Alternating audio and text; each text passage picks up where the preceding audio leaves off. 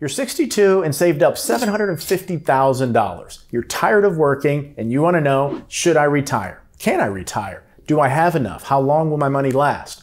These are the questions that may be keeping you up at night and stopping you from living your best life in retirement. I've sat with hundreds of people over the years that come into the office, they sit down, they say, Troy, I'm done working. 62 is right around the corner. I'm going to retire. I'm going to turn on my Social Security benefits. And they make that income decision before we make the allocation decision. So with the Retirement Success Plan, there's a reason why the allocation comes before income planning, then tax planning. So what I'm going to do in this video is actually go through different scenarios and show you some of the things that you should be considering before you actually make that decision, pull the ripcord, go off into retirement, and turn your Social Security on at 62.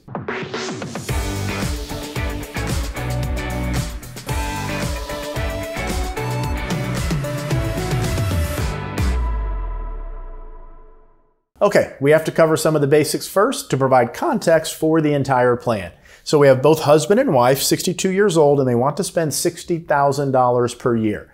Retiring at 62, taking Social Security early, there is a permanent reduction in both the personal Social Security benefits and also the spousal benefits. In this example, the husband is the only one who qualifies for his own personal Social Security check. That's going to be $25,000 a year at age 62. So that takes into account the reduction from full retirement age. And his wife, even though she worked and busted her butt for many, many years, unfortunately, the government doesn't count that work as qualifying for a Social Security check. So she is going to have to take spousal benefits. That's $11,000 a year in this example. We're going to look at what happens if they defer it till 67, 70, how that impacts the overall plan. But they're both 62, wanting to retire now. His Social Security is 25,000, hers is 11,000, 750,000 saved, as I said. 650,000 of that is inside the IRA, 100,000 of that is in savings. Now, we're not going to get into the potential of tapping equity inside the home, but for this example, the home is worth $500,000. So that is something that could be tapped either through a reverse mortgage later in life or a home equity loan,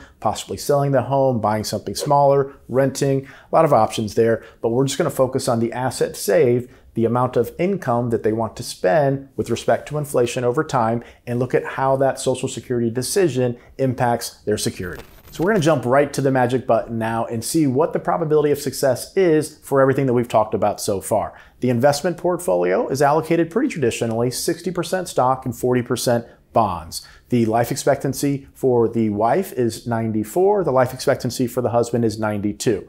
One thing to note here, I was doing some research and I think it was the Stanford Center uh, for Longevity. I uh, did a research study. I didn't check into the details. You can look some of this stuff up. I do encourage you to uh, look into longevity studies and what's happening with medical science and technology when it comes to extending our lives. But the study said about 40% of people, uh, men and women, underestimate their life expectancy. Males more so than females, so I think it averages out to about 40% there. But we see this very, very uh, often when we have conversations with people. For some reason, we just have this uh, tendency to underestimate our life expectancy. But when we're planning for retirement, of course, we'd rather plan for a bit above the averages as opposed to a bit below the averages. So, one thing to take note here is once you hit the age of 65, your life expectancy numbers are different than when you look at life expectancy as a whole of the population. So a 65 year old female, the average is about 87, give or take a year or so there. And a 65 year old male, I believe those averages right now are around 84. So those are the averages. Take into consideration your own health, family longevity, etc. For planning purposes, we're going to assume 94 for the wife and 92 for the husband. Okay, we have 79% probability of success. For some of you, you may say, hey, that's great. I'm comfortable. Let's do this. Let's go ahead and retire. Others are, well, you know what? If I hopped into a plane and it only had a 79% chance of landing on the, my destination, I'm probably not getting into that plane. So, how can we look at improving the 79% probability of success? Okay, the first thing I want to point out here is inflation. So we're just running this at a long-term 2.5% projected inflation rate. So we see starting out at $60,000, it gets all the way up just because of inflation to $122,000 a year. So when we look at these out years, we're having to withdraw from our assets in conjunction with Social Security enough to meet our spending goal in today's dollars. We're going to have to withdraw around 100,000 in 2044. We see 108, 116, 125,000. That's 30 years from now when the first spouse passes away, typically there's a reduction in spending, so that's what this drop off is reflecting. But it's very important to understand the erosion of your purchasing power over time because of inflation. Now, we've just all been through a period of high inflation, so it's fresh on our minds and we understand how that can erode our purchasing power.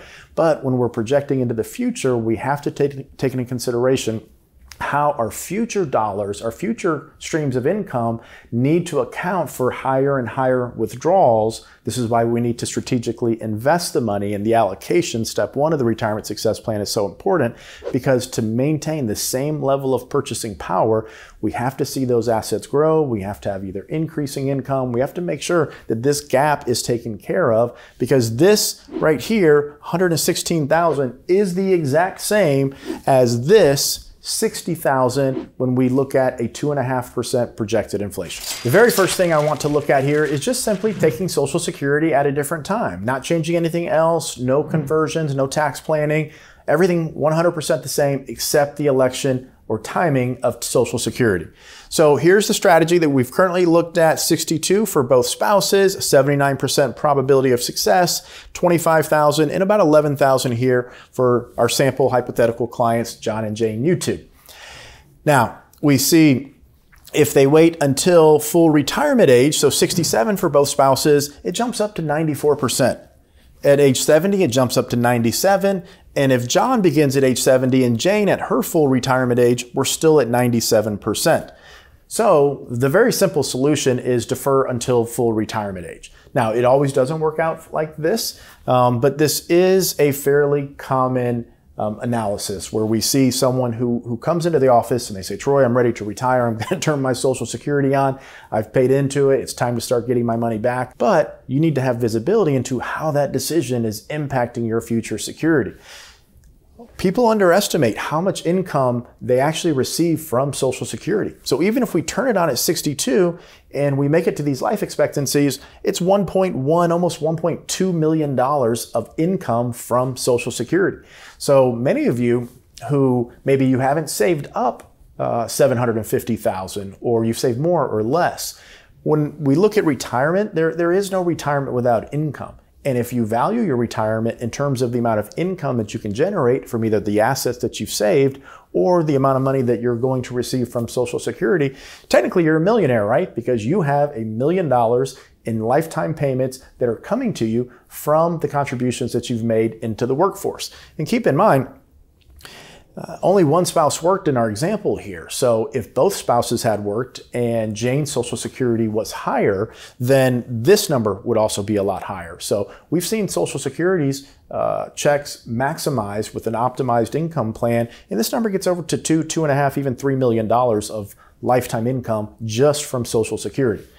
Over here, if we wait to full retirement age, it's 1.38, almost 1.4 million. And here at age 70, 1.43, 1.43. So the very first thing we can do is live off the assets that we've saved and accumulated, live off dividends and interest. That won't be enough to hit that $60,000 spending goal. So you would expect to see those asset values decline in value in the first few years if until you hit age 67 and turn on your benefits at full retirement age. At that point, you're looking at 33 and 16, so about $50,000 a year. So the majority of your income will be coming from Social Security. So that really reduces the amount of stress you're putting on your portfolio. And that has a very positive effect from the uh, potential risks that are out there. Sequence of returns, what happens if the market goes down while we're making these big withdrawals. It, the longevity risk is uh, significantly diminished because we're five years older, so our life expectancies are compressed. Um, so a lot of positive benefits happen here by deferring Social Security longer, and that's why we see mathematically it comp- uh, computate to 94% probability of success versus 79. But I know many of you are saying, Troy, I'm not waiting until 67. That's great. That's that's that's fine. I'm not waiting until 67. What else do you have? Before I get into a potential solution that we find a lot of people in this particular situation really appreciate it and value, I want to make sure that there's proper context provided around these risks. Because if you're going to make this decision to turn Social Security on at 62, I want you to be aware of what could negatively impact you. The first thing is bad timing. And if you retired a couple of years ago and turned on Social Security, or three years ago during COVID, you have went through this exact example. So we look at market goes down the first couple of years. The bond market has been down now for basically three years. When you combine that with equity returns being negative, you start to get into quite a pickle when you're also distributing money from your retirement accounts. So the only thing that we see different in these two plans, just a quick line chart, the red is our bad timing example. The green just assumes your typical average rate of return. Both of these portfolios averaged about 5.5%. But because the red line experienced losses in the first couple of years, negative 20%, negative 7.5%, we see the dip here, same average rate of return that point forward. These first two years of retirement determined the rest of their quality of life. Because if this is what, ha- what happens to you, you're not probably sleeping as well as is if the first two years were like the green line up here. So there is an emotional and also psychological domino effect to bad things happening to retirement accounts and, and value of your savings in retirement. I want to show you one more chart that visually illustrates the risk of sequence of returns a bit differently. So we see here 16 different simulations. So out of the 1,000 simulations in the probability of success that we looked at earlier, this is just simply pulled out the 16 where the average rate of return was between 5.3 and 5.4%, virtually identical average rates of return.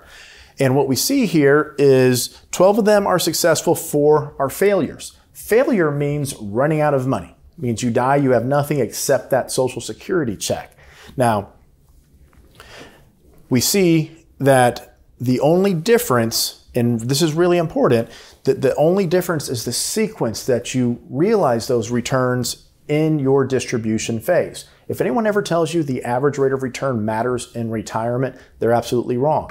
Average rates of return are only important in the working years where you're contributing and saving money. You're accumulating to get to the top of the mountain. So then you can plant that flag, you can walk out the door and retire. And now you're dependent on those savings and Social Security for the duration of your life. Once you enter that distribution phase, you start coming down the other side of the mountain. Average rates of return mean absolutely nothing. It's the sequence of returns that will determine how long your money lasts. So proper strategy is to build an allocation that can provide you the income with respect to a tax plan that allows you to weather the storms that will invariably come at some point in the future. If we can build that plan that allows you to stay committed to your retirement plan and provide the income to maintain your quality of life, you're probably going to be in a much better position than not.